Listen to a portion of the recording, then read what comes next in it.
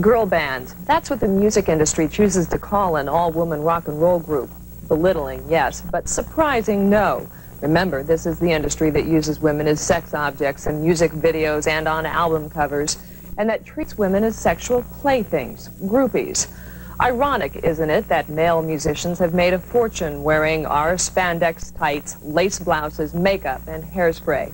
It just doesn't seem fair. So to even the odds, I got the assignment. We're calling this one Fox Meets Vixen.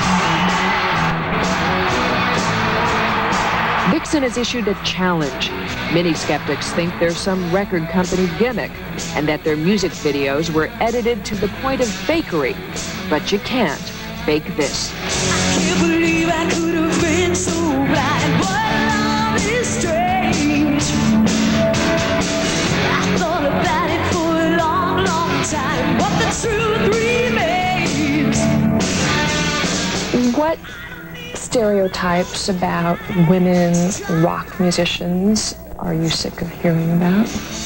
That um, women can't play rock and roll. Period. That's you know that's one that's, that's gotta that's that's gotta go.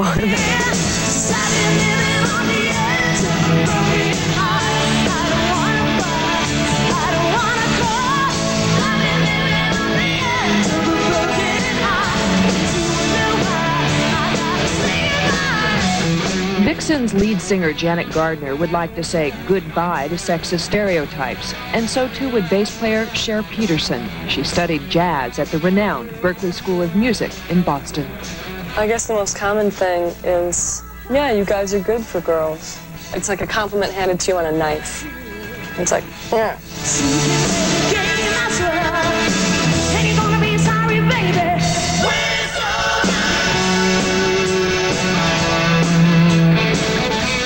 On lead guitar, who founded Vixen seven years ago. There was a guy when I was starting out. He was telling his friend, you know, she'll never be able to play like, you know, because she doesn't have, girls don't have the strength in their wrist.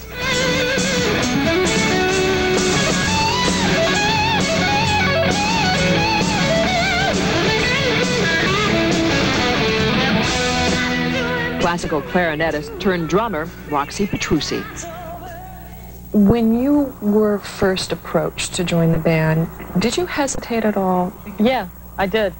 Because I'm generally not into all-girl bands, because when I first started playing, me and my sister would audition girls, and they were good at first, but as soon as we said, well, we want to take the band on the road, they completely wimped out. I said, well, no, I can't leave my boyfriend. I have a boyfriend at home. We said, no.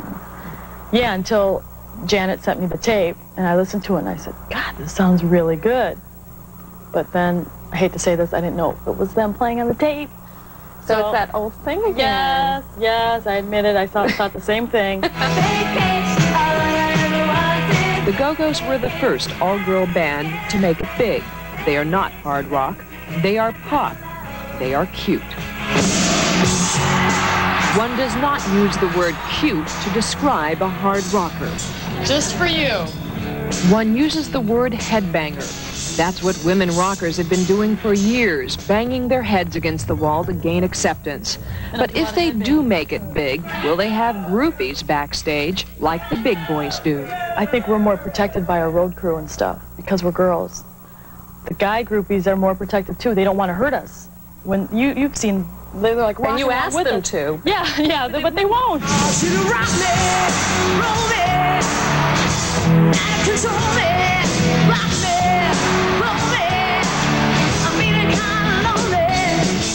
Sex, drugs, and rock and roll. You've told me about the sex, which doesn't sound like there's a lot of it. No, pretty much limited. Hi, nice to meet you.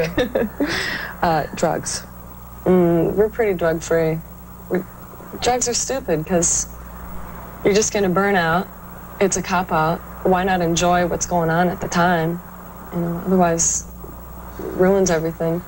And the most important thing for all of us is the live show. Rock and roll. Yeah. Rock and roll is what we live for, not the sex or the drugs.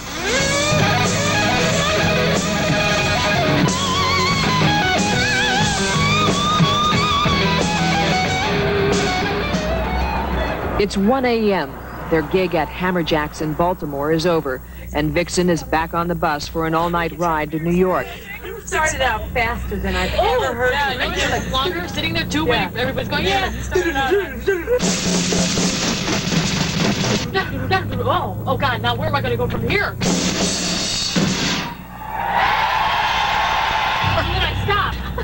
They sleep on the bus.